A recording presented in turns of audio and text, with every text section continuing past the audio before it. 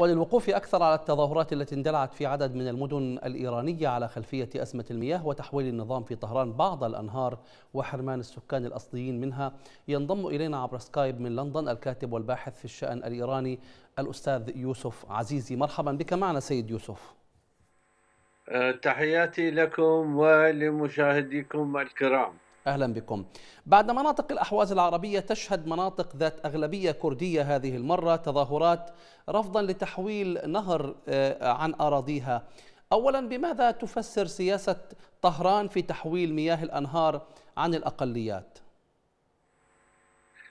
نعم آه، في الواقع آه، يعني هناك مخطط طويل الأمد يعني اشتغل عليه آه، المركز الفارسي في طهران منذ عقود لحرف آه، مياه آه، الأنهر التي في الواقع تجي من جبال زاغروس. ويعني تمضي وتسير في منطقة البختيارية القومية البختيارية. يعني لازم بتصححوا إنه اللي آه، في الواقع الآن يتظاهرون هم البختيارية اللور وليس الكرد. نعم. آه، فهذه الأنهر آه، يعني في الواقع تجي وتسير من منطقة البختيارية إلى منطقة عربستان. فالأنظمة المتتالية النظام البهلوي السابق وخاصة النظام الجمهورية الإسلامية وبسبب سلطة العنصر الفارسي وخاصة من المدن الوسطى في إيران يعني يعني خططوا لبناء سدود عدة سدود بنوها على نهر كارون والكرخة والجراحي والأنهر الأخرى في في عربستان نعم. فهذه السدود في الواقع ليس لتنقل مياه مياه هذه الأنهر إلى أصفهان وإلى يزد والى كرمان المدن الفارسية على حافة الصحراء هي منطقة صحراوية وسط إيران. فالمياه اللي نقلوها إلى هذه المدن الفارسية المركزية في مركز إيران في الواقع أخذوها لصناعات ثقيلة كصناعة آه، الحديد والصلب و...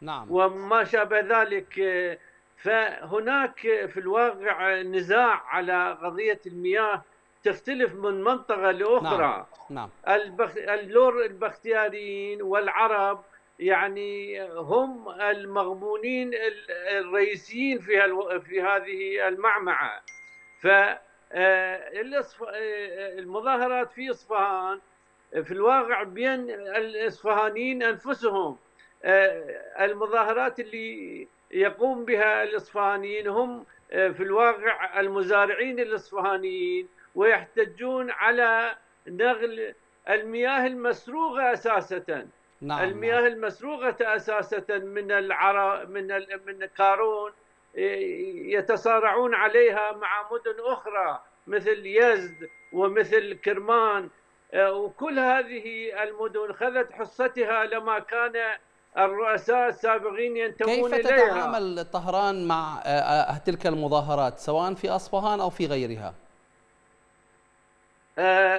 تتعامل بازدواجية تتعامل بعنصرية. يعني يعني انظر إلى مظاهرات إصفهان.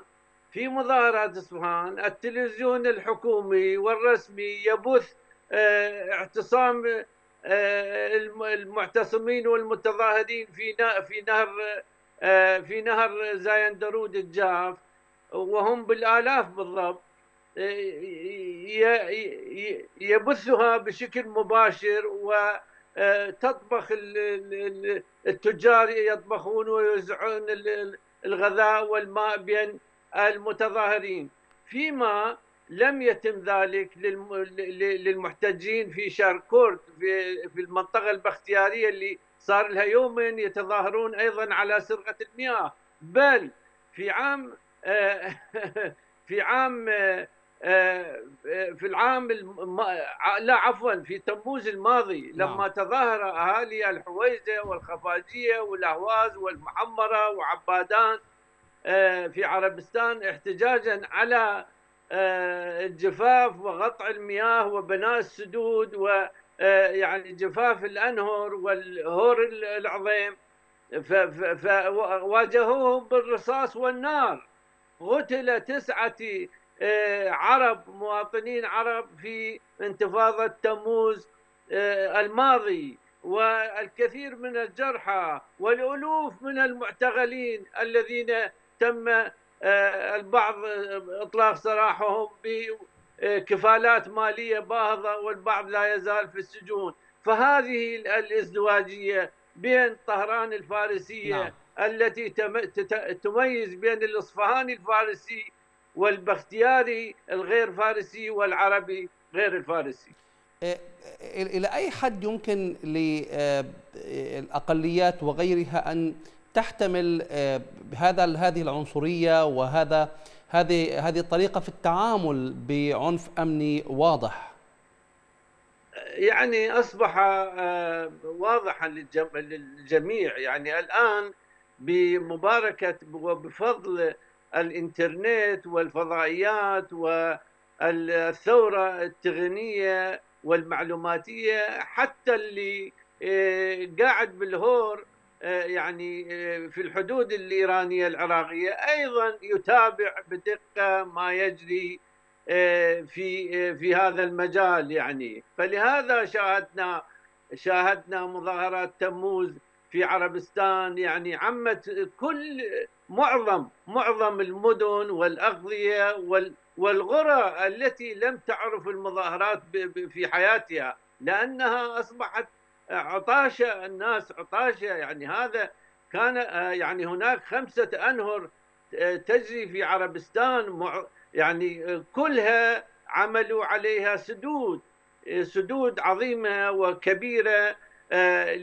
لحرمان أولا الشعب العربي في الأهواز من المياه وثانيا الشعب اللري البختياري في منطقة شار محال وبختياري. والآن والأنكى في الأمر الآن أصبح النزاع بين الفرس أنفسهم يعني بين أصفهان ويزد وكرمان نعم. الأصفهانيين يقولون هذا المياه لنا وأهالي يزد يعني اللي خاتمي كان ينتمي إليهم وهو اللي وصل لهم المياه في الواقع في في في عهده. ورفسنجاني هو اللي وصل المياه إلى كرمان يعني مياه كارون راحت إلى آه، ألف كيلومتر يعني في شرق إيران وفي في وسط إيران. فهؤلاء الآن هم نزاع بينهم بين إصفهان ويز وبين إصفهان وكرمان. أشكرك جزيلا الكاتب والباحث في الشأن الإيراني يوسف عزيزي كنت معنا عبر سكايب من لندن.